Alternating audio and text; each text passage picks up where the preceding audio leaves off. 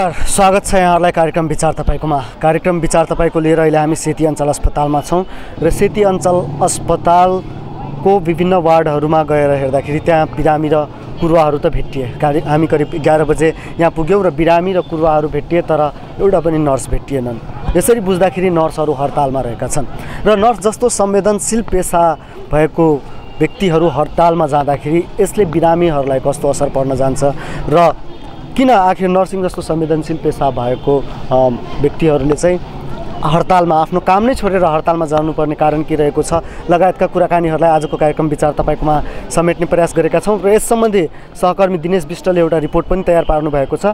यो रिपोर्ट हामी कार्यक्रमको सुरुवातमा प्रस्तुत गर्छौँ र त्यसपछि भने हामी यहाँको बिरामी त्यसै गरी अन्य व्यक्तित्वहरूसँगको कुराकानीलाई जोड्छौँ। अहिलेलाई भने सहकर्मीले तयार पारेको यो रिपोर्ट।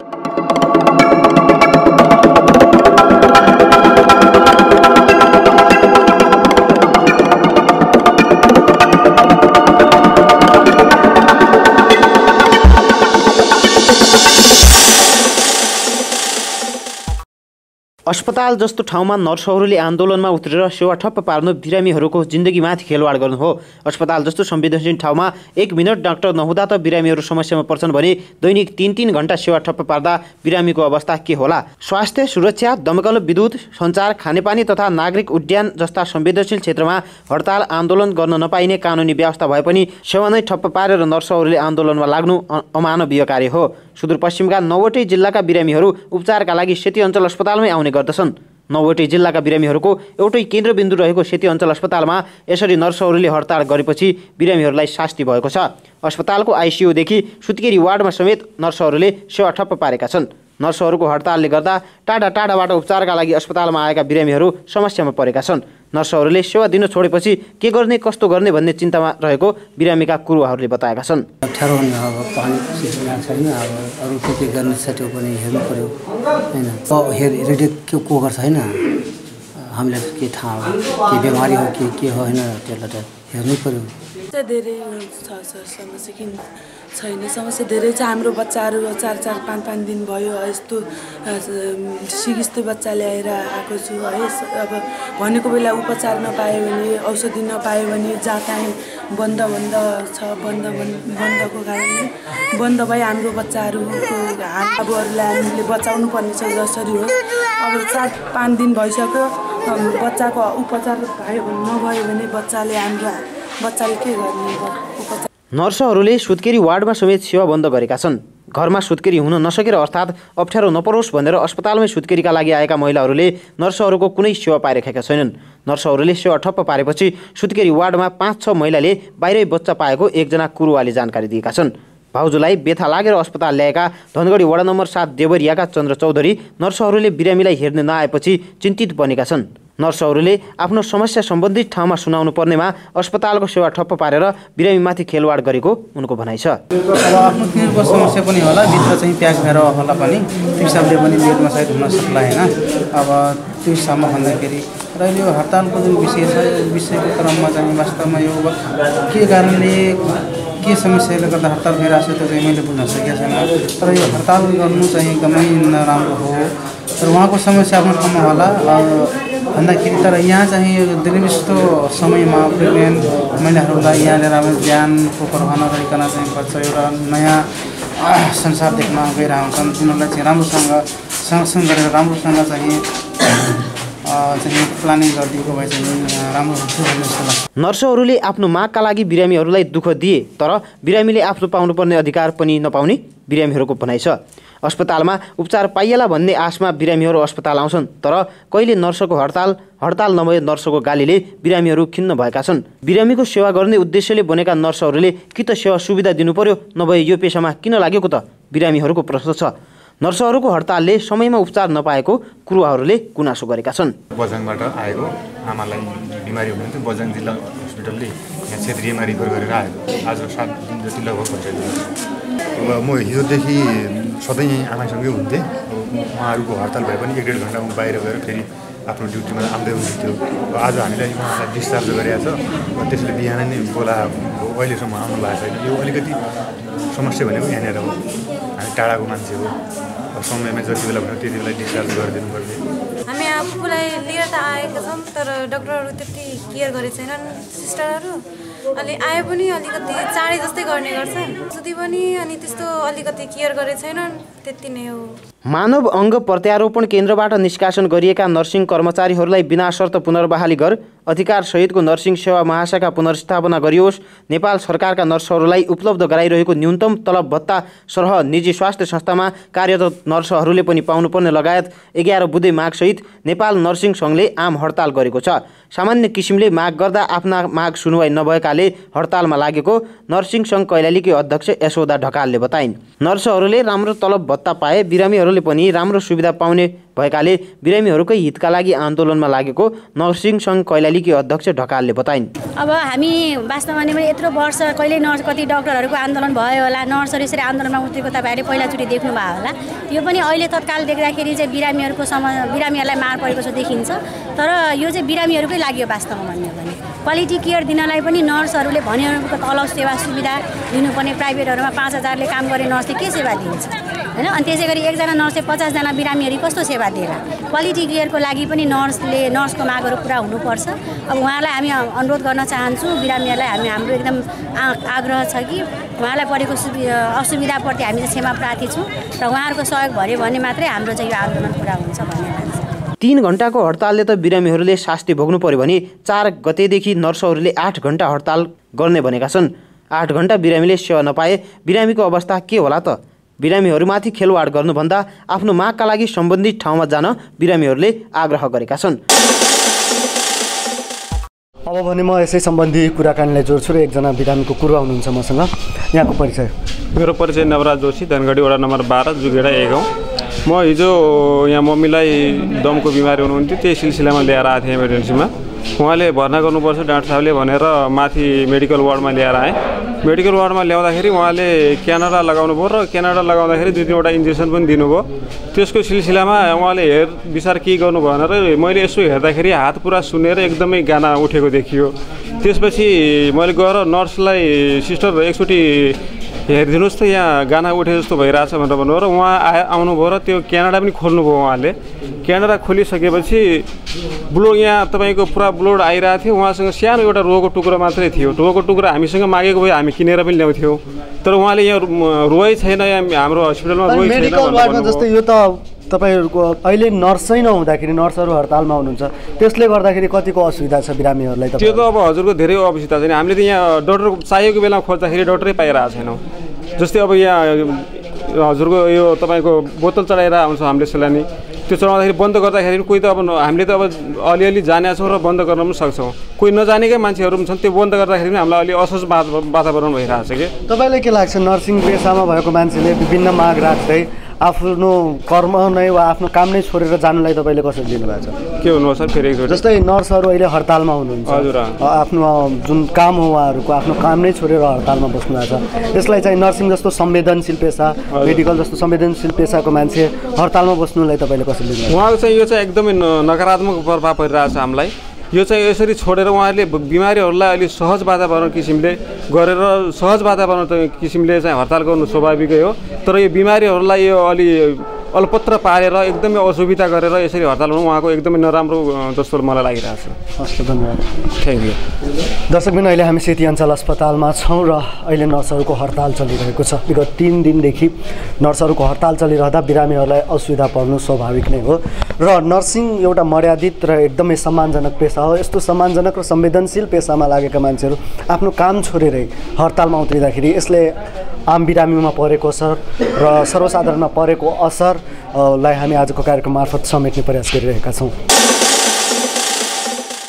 र फेरि पनि म कुराकानीको क्रमलाई जोड्न चाहन्छु। यहाँको परिचय। मेरो नाम चन्द्रदेव जोशी धनपा वार्ड नम्बर बाह्र अहिले तपाईँ अस्पताल परिसरमा हुनुहुन्छ र अस्पताल परिसरमा नर्सहरू हडतालमा हुँदाखेरि बिरामीहरूलाई कतिको असहज भएको छ? तपाईँहरूलाई कतिको असहज भएको नै अब असर त अब हडताल हुँदाखेरि हामीहरूलाई पनि असर परिरहेछ र बिमारीहरूलाई पनि असर परिरहेछ होइन?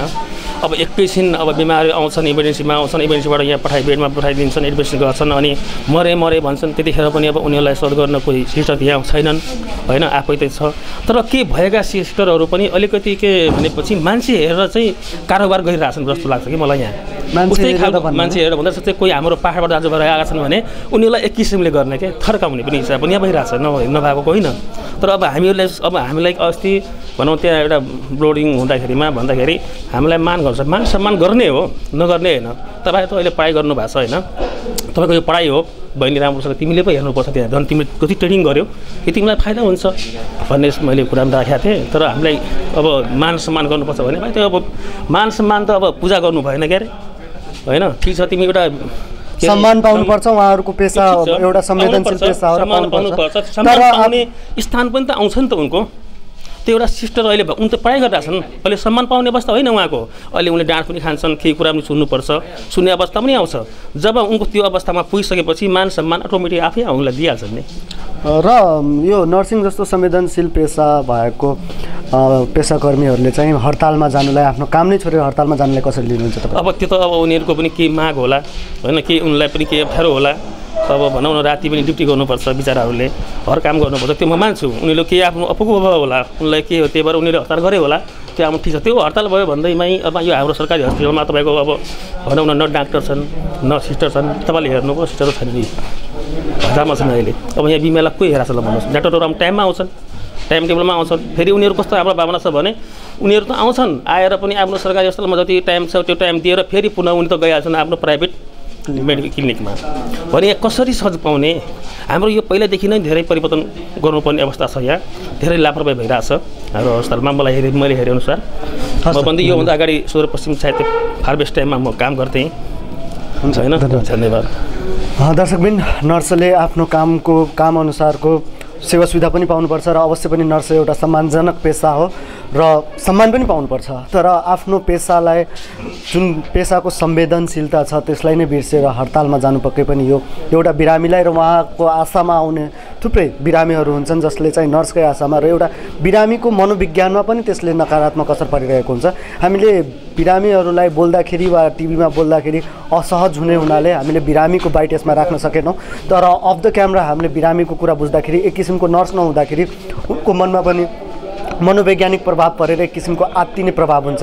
नर्सलाई देखेर पनि कतिको मनोविज्ञानमा असर परिरहेको हुन्छ र अलिकति सहज महसुस गर्छन्। त्यस्तो कुरालाई आखिर किन नर्स जस्तो संवेदनशील पेसा भएको मान्छेले ध्यान दिइरहेको छैनन् र आफ्नो माग पुरा गराउन अरूको जस्तै एउटा गैर जिम्मेवारीपन तरिकाले आफ्नो पेसा नै छोडेर हडताल गरिरहेका छन्। यसै सम्बन्धी कुराकानीलाई आजको कार्यक्रममा हामी जोडिरहेका छौँ। अहिले सानो व्यापारिक विश्राम। त्यसपछि हामी पुनः केही थप विचारहरूलाई जोड्नेछौँ।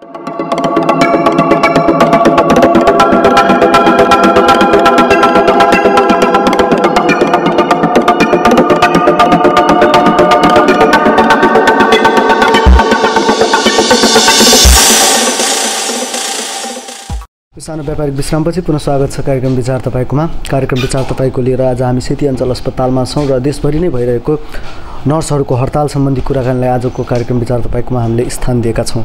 र नर्सहरू हडतालमा हुँदाखेरि अस्पताल प्रशासनलाई कस्तो किसिमको असर पुगेको छ अस्पताल प्रशासनले यसलाई कसरी लिएको छ भन्ने विषयमा कुराकानी गर्नको लागि अहिले मसँग सेती अञ्चल अस्पतालका medical superintendent doctor Sajan KC हुनुहुन्छ।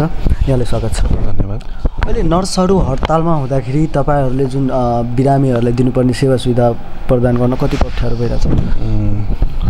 समग्रमा अब देशव्यापी रूपमै सिस्टरहरूको आन्दोलन चलिरहेको अवस्थामा त्यसको असर प्रत्यक्ष असर यस कैलाली जिल्लाको सेती अञ्चल अस्पतालमा पनि परेको छ। अब यो नौवटै जिल्लाको केन्द्रबिन्दुको रूपमा रहेको अस्पतालमा जुन क्वालिटी सर्भिस चाहिँ अब सर सिस्टरहरूले दिने हो त्यो पक्कै पनि आफ्नो उहाँहरूको सर्भिस चाहिँ डक्टरहरूले दिन सक्दैन। तथापि अब उहाँहरूको अहिले चलिआएको आन्दोलनलाई चाहिँ माले गर्दा अवरोध हुँदै भएको कारणले गर्दाखेरि वार्डहरूमा डक्टरहरू साहबहरूले चाहिँ केही मात्रामा सहयोगहरू गर्नुभएको छ। तर जुन सिस्टरहरूको सर्भिस उहाँहरूले दिने क्वालिटी सर्भिस स- सिस्टरहरूको लाई चाहिँ डक्टरहरूले जति जति गरे पनि हामीले त्यो अनुसारको क्वालिटी सर्भिस त दिन सक्दैनौँ। तथापि अहिलेको आन्दोलन चाँडै नै टुङ्गिन्छ भन्ने सोचले चाहिँ हामीले त्यसलाई सहज बनाउनलाई चाहिँ डाक्टर साहबहरूकै मद्दत लिएको छौँ। चिकित्सा जस्तो नर्सिङ जस्तो संवेदनशील पेसामा भएको व्यक्तिले आफ्नो माग पुरा गराउनको लागि हो। उहाँहरूको पनि केही माग होला र त्यो पुरा हुनुपर्दछ। तर आफ्नो माग पुरा गराउनको लागि आफ्नो काम नै छोडेर हडतालमा बस्नुलाई एउटा डक्टरको हैसियतले तपाईँ डक्टर पनि हुनुहुन्छ र एउटा प्रशासकको हैसियतले त्यसलाई तपाईँ तपाईँ कसरी लिनुहुन्छ?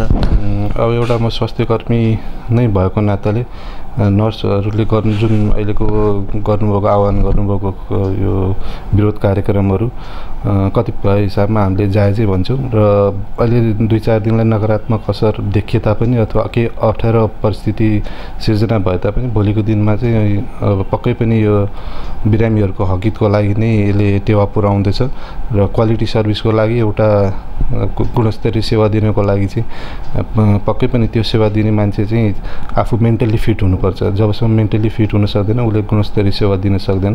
त्यही कुराको नै अहिले निस्केको आन्दोलनको पक्ष एक पक्ष चाहिँ त्यो पनि हो।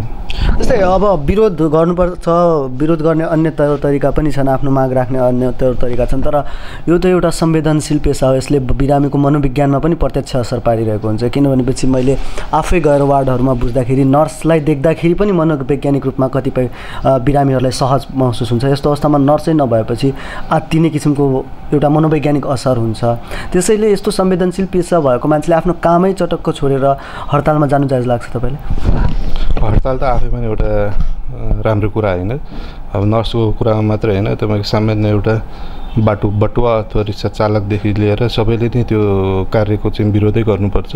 तर अहिलेको परिस्थिति जुन परिस्थिति सुहाउँदो तरिकाले आन्दोलन गर्ने एउटा परिपाटी छ त्यसलाई पनि हामी अब स्वास्थ्य कर्मी अथवा नर्सहरूले चाहिँ लिएको बुझ्नुपर्छ। अब त्यो स्वास्थ्य कर्मी अथवा उसले गर्नुहुन्न अरूले गर्दा हुन्छ भन्ने भन्दा पनि आफ्नो हकितको लागि आफ्नो सङ्गठनले कसरी त्यसलाई वर्णन गर्छ त्योमा चाहिँ यो यो समस्या समाधान के हुनसक्छ तपाईँको विचारबाट? यसलाई चाहिँ कसरी सहज बनाउन सकिन्छ कसरी समस्या समाधान गर्न सकिन्छ जस्तो लाग्छ?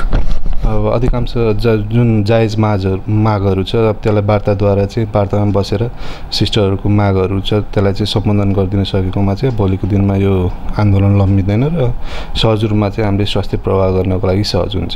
तपाईँले यहीँबाट चाहिँ अस्पताल प्रशासनबाट केही पहल गर्न सकिन्छ सकिँदैन?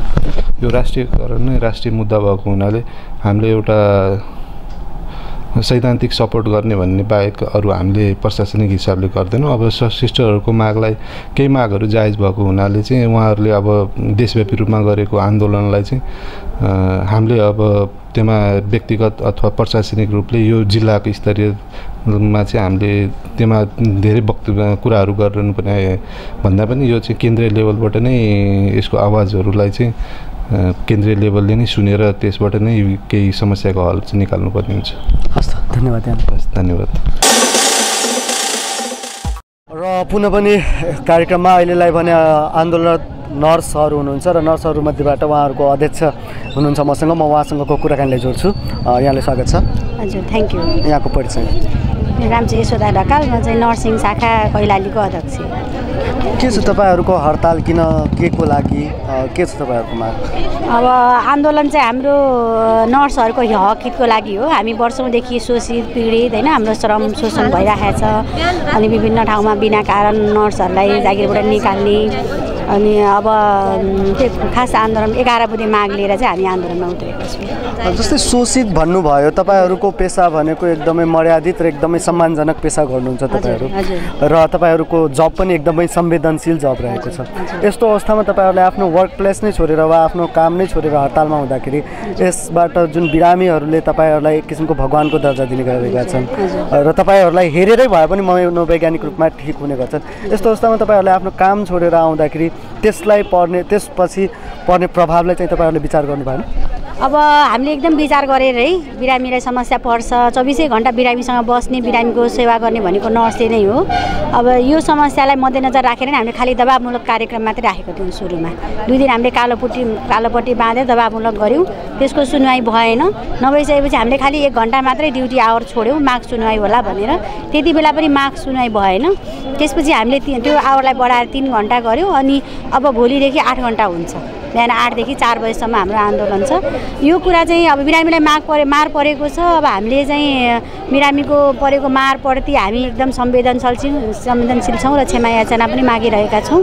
हाम्रो यो चाहना होइन हामीलाई पनि बिरामीप्रति एकदम धेरै माया छ। तर अब बिरामीहरू यो खास भोलिको लागि बिरामीहरूको लागि नै उहाँहरूको फाइदाको लागि हो। एकजना बिरामी नर्सले पचासजना बिरामी हेरिराखेको अवस्था छ नेपाल सरकारको हेर्नुहुन्छ भने हामी नर्स गुणस्तरीय सेवा दिन दिन सकिएको छैन। अनि एउटा नर्सले धेरै नर्स रिसायो भन्दा हुन्छन् मान्छेले होइन? एउटा धेरै ह्याङ धेरै एउटा मान्छेले धेरै बिरामीहरू हेर्नु पर्दाखेरि उसले चाहेको जस्तो गर्न सक्दैन। त्यो नर्स रेसियो नर्स पेसेन्ट रेसियोको लागि पनि हाम्रो यो आन्दोलन छ। त्यसै गरी एकदम न्यून तलबमा प्राइभेट सङ्घ संस्थाहरूले नर्सलाई एकदम न्यून तलबमा चाहिँ काम लगाउने उनीहरूको म- चौसम्म भोलिन्टियर गराउने त्यसपछि जागिर दिने त्यो जागिर पनि एकदम न्यून चार हजार पाँच हजार। तलबमा चाहिँ नर्सलाई काम गरेर भोको बेडमा मान्छे राम्रो सेवा दिन सक्दैन। त्यो उनीहरूको आवश्यक मान्छेको आफ्नो आवश्यकता पनि हुन्छ त्यो फुलफिल हुन सक्दैन। त्यो पनि उनीहरूको एक त भोलिन्टियर एक त कम तलबमा ज्यादा यस्तो काम गराउन मिल्दैन भन्ने पनि हाम्रो माग चाहिँ छ। अनि एउटा मुख्य माग भनेको नर्सहरू निकालिएका छन् होइन मानव अङ्ग प्रत्यारोपण केन्द्रमा। त्यस्तो नर्स त्यो निकालिएका नर्सहरूलाई पुनर्बहाली हुनुपर्छ। तपाईँहरूको कार्यक्रम के हुन्छ? जबसम्म माग पुरा हुँदैन त्यसरी नै तपाईँहरूले आफ्नो काम छोडेर यसरी अँ हामी बस्छौँ। जब पुरा हुँदैन अहिले हामीले इमर्जेन्सी सेवा चाहिँ दिइराखेका छौँ। यदि चाहिँ भोलि हाम्रो माग सुनवाई भएन भनेपछि चाहिँ सात गतेदेखि सात गतेसम्म हाम्रो तिन छ गतेसम्म हामी आठ घन्टा गर्छौँ भोलिदेखि। अनि सात गतेदेखि हाम्रो चौबिस घन्टे नै ड्युटी छोड्ने कार्यक्रम छ। यसको लागि चाहिँ सरकारले सुन्नु पर्यो। किन बिरामीलाई मा यसको सबै हेर्ने भनेको त बिरामीको संविधान नेपाल स्वास्थ्य मन्त्रालयले सुन्नु पर्यो हाम्रो माग अब नर्सको काम भएको जस्तो सरकारले महसुस गर्थ्यो भने त हाम्रो माग त हामीले दुई दिन कालोपट्टि बाँध्दामै समाधान हुनुपर्ने। हामीले सुरुवात सुन एक दिन एक घन्टा ड्युटी छोड्दा नै हाम्रो काम समाधान होला। हाम्रो एकदम जायज मागहरूलाई सुनाइ होला भन्ने लागेको थियो। केही रेस्पोन्स सरकारले गरेको छैन। त्यसको मतलब नेपाल सरकारलाई अब भनौँ न स्वास्थ्य मन्त्रालयलाई नर्सहरूको आवश्यकता छैन कि भन्ने खालको नेपाल सरकारको मन्त्रीहरू त विदेश जान्छन्। उपचार गराउन तर जुन सर्वसाधारण छन् तिनीहरू त तपाईँहरूले नआउँदाखेरि तिनीहरूलाई त असहज हुन्छ नि। त्यो सरकारले बुझ्नु पर्यो। सरकारको जिम्मा के अरे बिराम भनौँ न जनताको जिम्मा लिएर बसेको सरकारले त दबाब मात्रै दिँदाखेरि चाहिँ जायज मागहरूलाई साना साना ठुलामा तपाईँहरू पनि हेर्नु होला। मागहरू एकदम सामान्य मागहरू छन्। जुन चाहिँ एकदम प्रोफेसनल हकितको लागि राखेको माग छ पुरा गर्न नसकिने मागहरू पनि छैनन्। त्यस्तो सामान्य मागहरूलाई पनि एकदम भनौँ न सुनवाई गरिएको छैन। केही रेस्पोन्स गरिएको छैन। त्यसले गर्दाखेरि अब दुई चार उहाँ- उहाँलाई बिरामीहरूलाई भन्न चाहन्छु कि उहाँहरूको भविष्यको लागि चाहिँ अहिले हाम्रो आन्दोलनमा चाहिँ सहयोग गरेर सरकारलाई पनि अझ उहाँहरूबाट मिडियाकर्मीहरूबाट बिरामीहरूकोबाट पनि सरकारलाई दबाब जाओस् र छिटोभन्दा छिटो हाम्रो हामी यो चाहिरहेको छैनौँ बन्द गर्नलाई। हस् त धन्यवाद। थ्याङ्क यू दर्शकबिन आजको कार्यक्रम विचार तपाईँकोमा हामी विभिन्न ठाउँमा भइरहेको नर्सहरूको हडताल र विशेष त सेती अञ्चल अस्पताल जुन चाहिँ प्रदेश नम्बर सातको एउटा मुख्य केन्द्रबिन्दुको रूपमा रहेको एउटा प्रमुख अस्पतालहरूमध्येको एक सेती अञ्चल अस्पतालमा नर्सहरूले आम हडताल गर्दाखेरि बिरामीहरूलाई पर्न गएको असर हज लगायतका कुराहरूलाई जोडिरहेका थियौँ। वास्तवमा नेपालमा परिपाटी नै भइसकेको छ। आफ्नो माग पुरा गराउनलाई हडताल गर्नैपर्छ सामान्य कुरा हुँदाखेरि राज्यले वा सरकारले मागलाई सम्बोधन गरिरहेको हुँदैन जबसम्म परिस्थिति असहज वा जटिल बन्न जाँदैन। नर्सिङ पेसा एउटा संवेदनशील पेसा हो र नर्सहरूको मनोविज्ञानलाई असर पर्ने वा नर्सहरूलाई जबसम्म मनोवैज्ञानिक तरिकाले र सन्तुष्ट बनाउन सक्दैन भने उहाँहरूले पनि गुणस्तरीय सेवा सुविधा दिन सक्नु हुँदैन त्यसको लागि राज्यले जिम्मेवारीपूर्ण ढङ्गले उहाँहरूको जायज मागलाई सम्बोधन गर्न जरुरी देखिन्छ भने अर्कोतिर एउटा मर्यादित र एकदमै संवेदनशील पेसा बोकेको नर्सले पनि जिम्मेवारीपूर्वक आफूले के गर्दाखेरि चाहिँ आफ्नो जिम्मेवारी र आफ्नो मर्यादालाई बुझेर आम हडतालमा जानु कतिको जायज रहेछ भने आफै मूल्याङ्कन गरेर पनि यसतर्फ ध्यान दिन जरुरी छ। आजको कार्यक्रम विचार तपाईँकोमा हामी चाँडैभन्दा चाँडै यो समस्याको समाधान होस् र सहज तरिकाले हरेक बिरामीले स्वास्थ्य सेवाको लाभ उठाउन पाउन् भन्ने आशाको साथमा कार्यक्रमबाट क्यामरामा सपोर्ट गर्ने पुष्कर पौडेललाई धन्यवाद दिँदै म प्रशान्त ठाकुर हुन्छु हस्त नमस्कार।